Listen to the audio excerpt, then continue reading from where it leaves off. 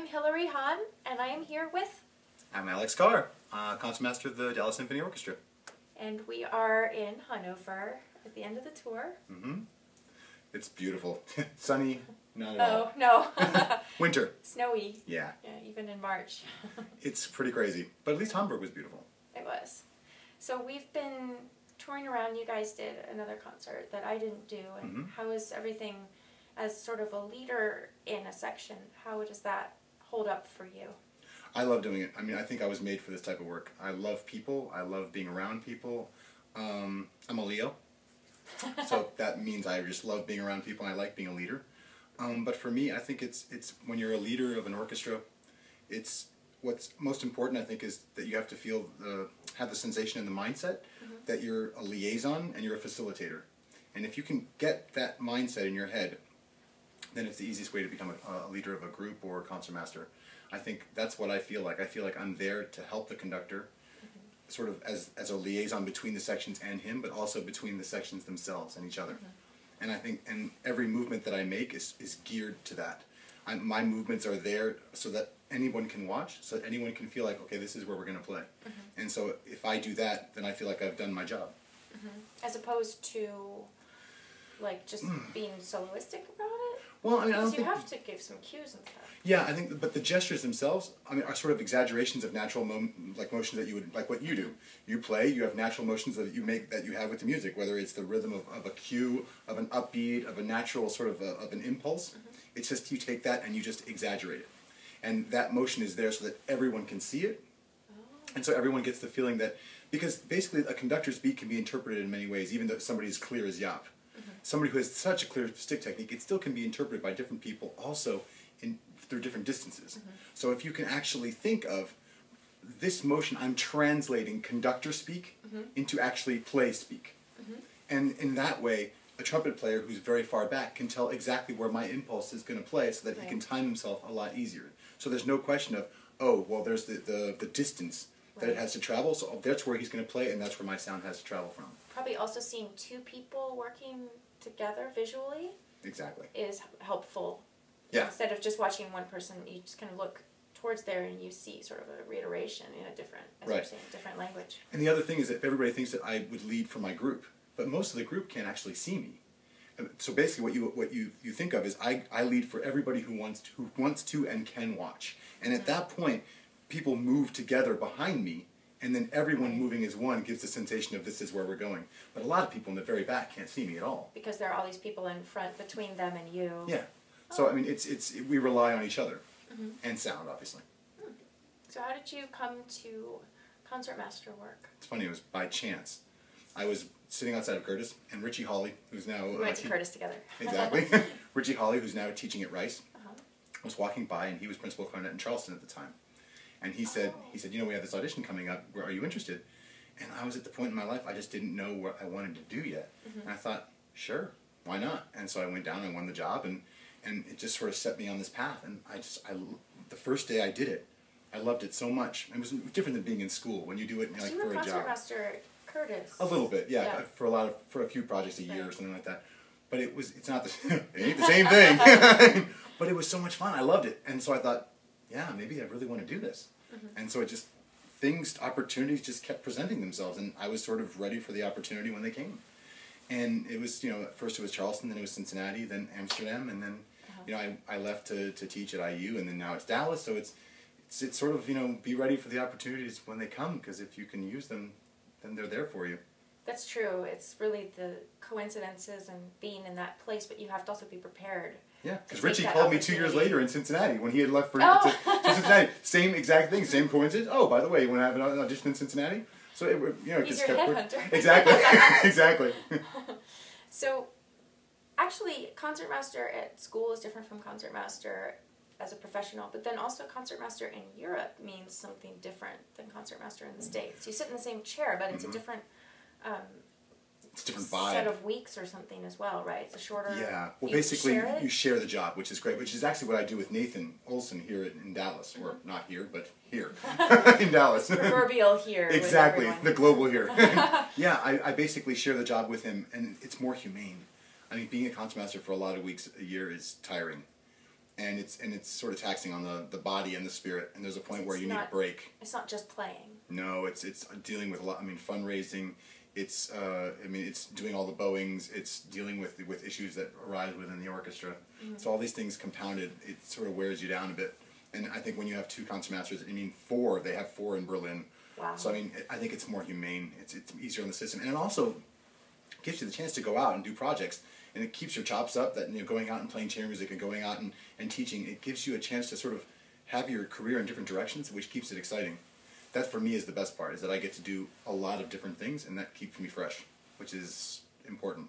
When there are multiple concert masters, do they try to pick people who are compatible in style so that the hmm. the examples don't change every week? Like you get really into one bowing pattern with one person, and suddenly the next week with a different person, maybe you played this in the orchestra before, but now all your bowings are different because That's a really, really good question. and in Amsterdam, the way we did that system was that the, my stand partner did all the bowings, and that we could change them Oh. whenever we wanted to, mm-hmm. but my stand partner would do them. In Dallas, he Nathan does his bowings and I do mine for, for mm-hmm. whatever weeks that we're, we're playing. Mm-hmm. Um, but that's a really good question. I think that you know when in Amsterdam, like I mean, the bowings were Mahler's. you So, just you know- explain that bowings like they're supposed to the direction of the bow when you Right. change is supposed to match up throughout the whole section. So Exactly. someone has to make those decisions. Exactly, and whether it's on the string, whether it's off the string, a brush stroke, or, or a really jumping high staccato. I mean, you have to sort of establish for everybody what those parameters are. Right. But I think what ends up happening is that, yeah, maybe. I mean, it's. I think subconsciously. I, I wonder if people do that. That's a very good question because I, I really don't have an answer. I would imagine that they do. Maybe the selecting committee, listening to the audition, has a similar set of things they're looking for in each person who Probably. might be getting the job. Well, I know when I listen for section audition, I- whenever I listen to the section auditions, I have, I have a certain sound that I'm going for, a certain uh, flexibility in the bow arm that I'm looking for, a certain type of vibrato that I'm looking for. So I'm, I'm guessing that they would have the same criteria for the concertmaster. Mm-hmm. Are the auditions any different in Europe from how they are in the States? Yes. How In so? Fewer excerpts in Europe. I mean, especially in the German orchestras. In the German orchestras, you can basically play two concertos and you're done. In America, it's a series of rounds, and it's usually two concertos plus a lot of the, the basic solo excerpts. They don't do excerpts in Europe? In certain places, yeah. In Germany, a lot they don't. In Berlin Philharmonic, you would just have to play two concertos. Um, How about the scream? Do they have a scream in depends on it depends on the rounds. I think for section auditions, they always have until the finals. Um, Mm-hmm. It's so that the people watching don't, like, they don't see someone at first and get a certain impression, or they don't Right. rec- supposedly Favoritism. recognize their colleagues, but I think Right. they probably recognize someone's playing. Well, you know what's interesting though. Here's a fairly funny thing: is that I've actually had students play in auditions, and when you have 150 people who've applied that are playing for you, after a while, the notes start swimming in your head, and you really can't tell anymore. Who is who? Yeah, you really can't. And it's you, and unless they do something, you know, because they're of. playing the same things. Yeah, they're playing the exact same things, and there's and maybe your student maybe didn't have the best day. They're still Yeah. going to get to the finals or something, but they didn't have their best day, so you, you don't really know. Not only some people try little tricks like like playing in like little cadenzas and Mozart concertos that are Oh, really like obviously. re- but that, actually, that really makes me mad when people do that. I mean, I love I love if somebody does that in a concerto in for real in real life. Right. But in an audition, I think that's I mean it's very lame. It's a little too flashy. and also it's, it almost gives the impression of they're trying to tell somebody on the committee who they are, which I don't Oh. appreciate very much. Mm-hmm. In a concert, great, do all the cadenzas you want. You see a fermata, cadenza away. but but I think that in an audition you have to be a little bit more pragmatic. So, what can make someone stand out in a positive way in an audition? I think you know everybody gets this impression that with auditions, like if you miss one note, that you're out, and that's just not true. Mm-hmm. I think that with auditions, you can never have a serial problem. There can't be anything that's that's that's that's sort of systemic in your playing. Any oh. issue like first one thing that I, I mean I, I like to listen first. First of all, for me, sound.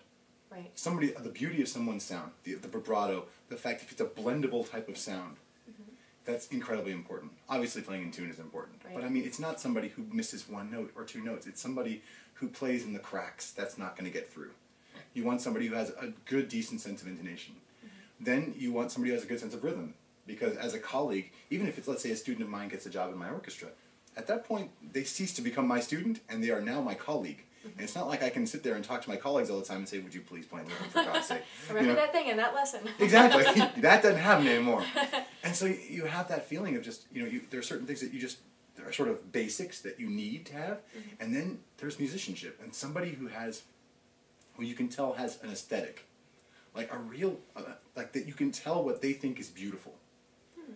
That's for me is bonus round. That's somebody who wins. The rest is people who make the finals. Mm-hmm. But for me, the person who wins is somebody who shows me their aesthetic, and I can see, wow, that person feels this is beautiful. And if that if they can convey that to me, then they're it's a sure win. I think a lot of people feel like they have to hide their personality in auditions because they might not be neutral enough. So that's interesting to hear. And I think what happens far too often is that exact same thing. Mm-hmm. I think what what's what's what's become of orchestras these days is they've become this sort of hypoallergenic sound. It's just, it's it's this sort of type of sound that's it's just sort of this, mm-hmm. and and lo- orchestras have lost their identities, mm-hmm. and I think that's because they've been searching for people who can play notes and not people who have a certain type of, of identity within their that sound within that kind of a group. Mm-hmm. I always had the impression of I'm just going to be myself, and if this orchestra likes me, that means I'll fit in.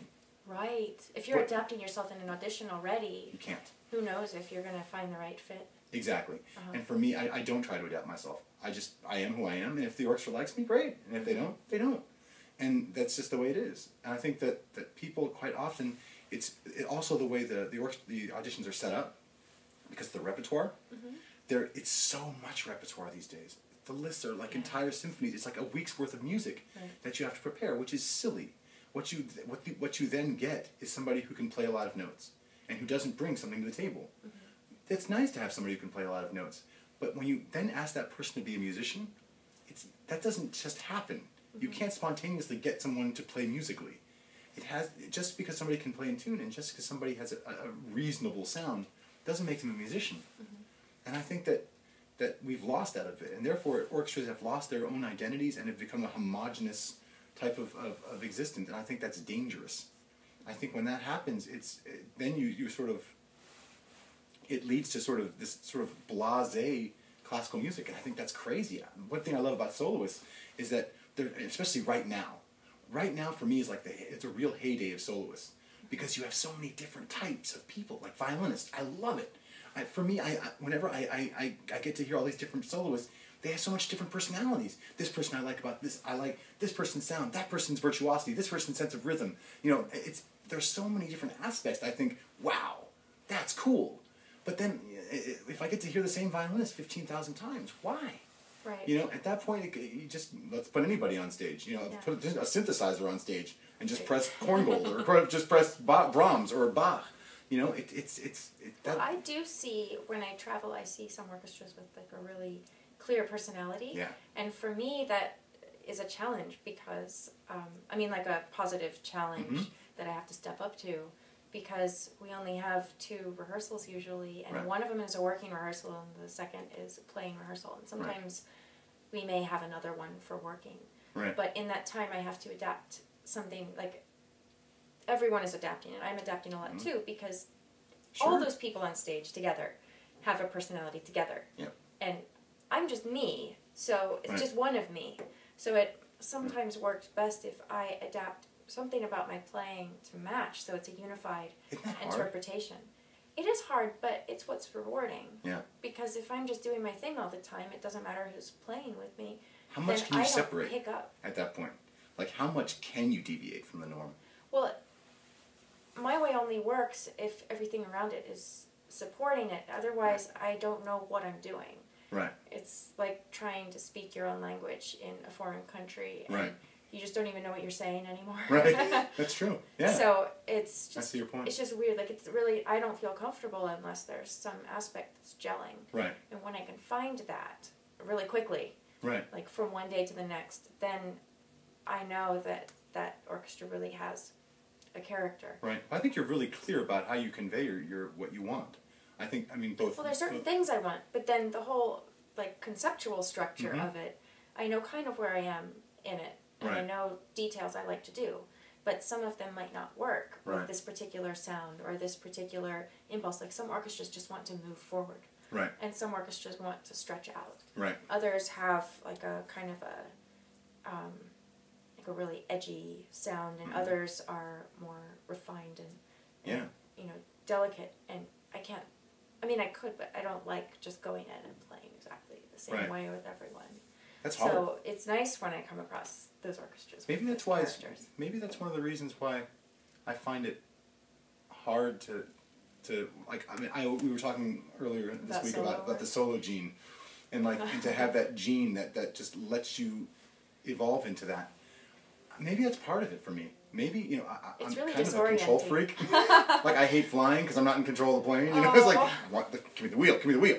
There's a solution. yeah, Except learn how to fly. Take your own wheel. exactly.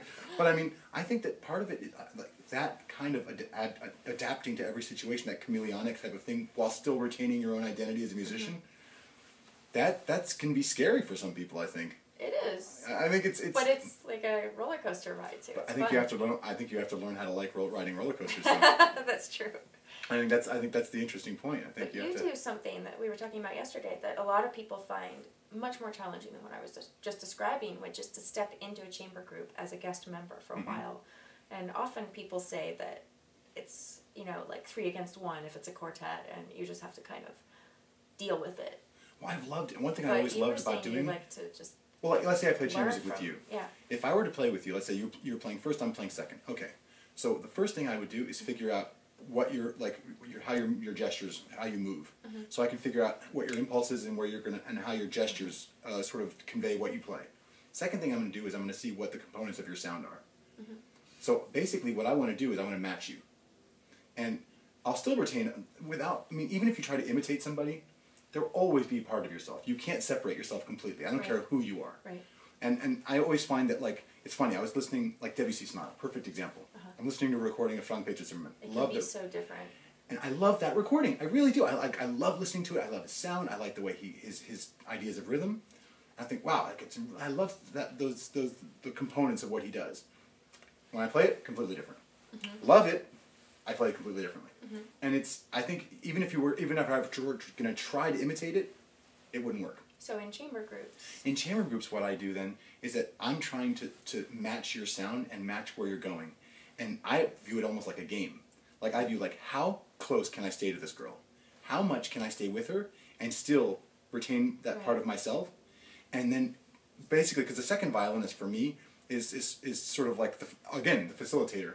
Mm-hmm. You have the primarius, and it goes through the second, and then all of these these these emotions and all of these gestures are being transferred across Yeah. like this. And so I view I view myself like I have a function, mm-hmm. and if I can be in that function and transmit these ideas while also transmitting something of myself to the audience, then I, I I've done my job, and I love doing that. And it's funny I've played with so many different violinists that have so many different sounds, yes. and and so I and it's so obvious when things aren't matching with string instruments. yeah, but I love the, I love the game of matching. I love that because at that point it's like I, I learned and I learned something from it.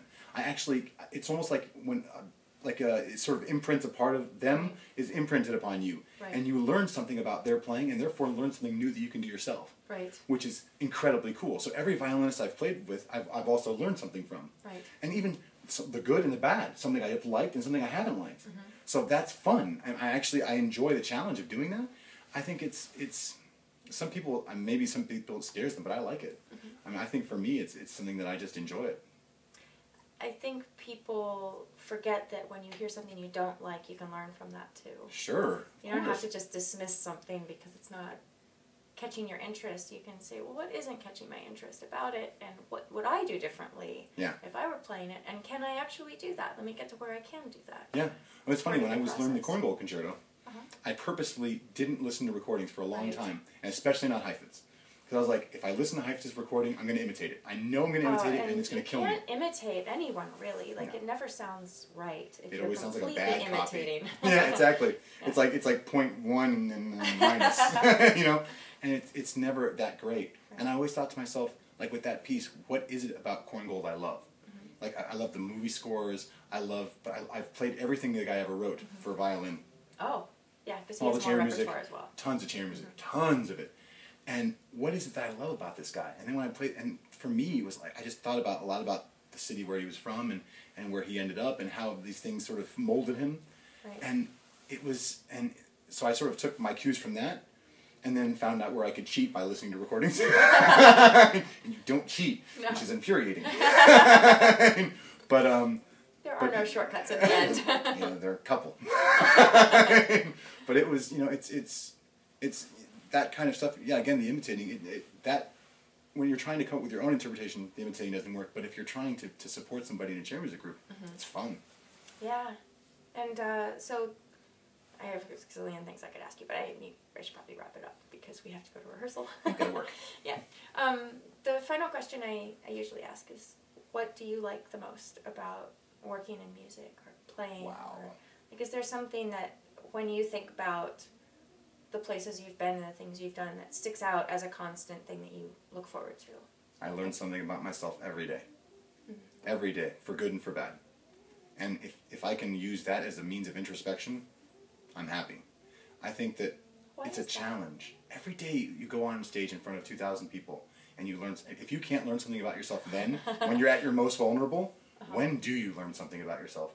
That's You can learn courage, you can learn cowardice, you can learn uh, tension, you can learn relaxation. There are and love, death. I mean hatred. You know, I mean all the coping. Yeah. You know, it's there's so many things you learn on stage, and for me, it's it's a job that's always exciting. And for me, also, I would have to say that I do not understand people that become jaded in music. I have loved every job I've ever been in, all of them, from every level all the way up. And I found challenges in every level. I found great people and colleagues in every level, things that have inspired me at every level, things that have made me upset at every level. And but that's fun. It's excitement. How many people go to their jobs and they hate them? They hate their jobs, and I think, how is that possible? Like, and and I- actually, I mean, I, well, you know, my the, the people at IU, the, the the music students always call the normal students muggles, like in Harry Potter, and so they like I always think of a life as a muggle, mm-hmm. and I think you know some people are very happy, and some people they go to their jobs to make money so that they can you know, subsist. And I think how lucky I am that I get to go and play, play, Yeah. because you don't. It's not working music. Mhm. It's play music. That's true. I mean, it's like in every language. It's always play. You know, you It's ever true. jouer? I mean.